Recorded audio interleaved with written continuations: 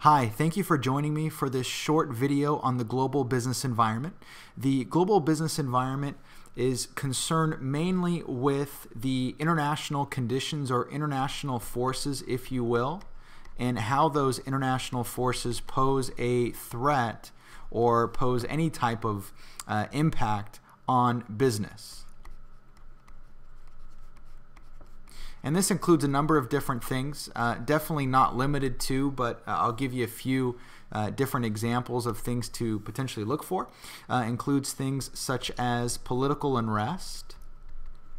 And so over the last couple years, in 2011, we certainly experienced a great deal of that, particularly in the Middle East. And so we saw how that impacted us back here in the United States through very uh, rising oil prices and different things of that nature. Uh, so as you can see, uh, things that take place on the other side of the world, uh, if you're in the United States, that is, uh, certainly has an impact on us here at home and vice versa, of course. And so the mentality is, is that we can't necessarily shut ourselves off, wall ourselves up to the entire world and think that we can exist simply by ourselves in isolation. Uh, what happens in one area certainly poses some type of impact or some type of effect to what happens in all other parts of the world, political unrest being one of those things. Uh, another thing to look for are natural disasters. And we uh, were ex exposed to a very significant natural disaster that took place in 2011 with the uh, earthquake and subsequent tsunami over in Japan and that uh, obviously there was a, a, extraordinary loss of life, which was uh, just awful. Uh, outside of that, though, from the business side, uh, there was a very, very significant impact on supply networks here in the U.S. And one of the biggest things was that the U.S. was in the process of kind of making uh, their way out of the recession that had began in 2008 and we were starting to recover at a very good rate. GDP was was rising uh, every month, uh, and we were at a point to which we were improving.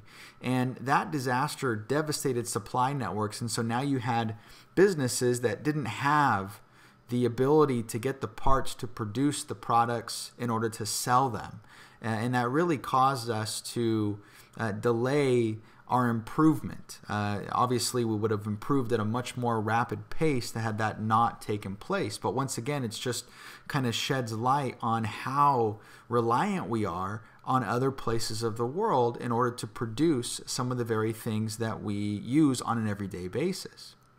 Another thing besides political unrest and natural disasters are international economic conditions. And this is one that we've seen uh, play out significantly over the past several years and has really come to uh, a head with regards to the European debt crisis, uh, which is still ongoing. There's a lot of issues with regards to countries like Spain and Greece, to name a few, and just the amount of debt that those countries have and requiring Eurozone funds uh, as a way of uh, continuing to operate and, and meet obligations for, for creditors and those sorts of things. So, uh, and those economic conditions have had some significant impacts here in the U.S. Uh, mainly, you look at the stock market just very simply, and you can see that you know on a given on a given day, uh, the stock market will fluctuate depending upon what news is coming out of Europe with regards to well, is Greece meeting its obligations? Is it holding up its end of the bargain uh, in order to get another you know round of funding in order to use that to pay off its debt and those different types of things? And so the market reacts to the news that happens. And so if you're an investor, you're obviously very aware of what takes place in Europe because that has an impact ultimately on stock prices here. And there are a host of other impacts as well.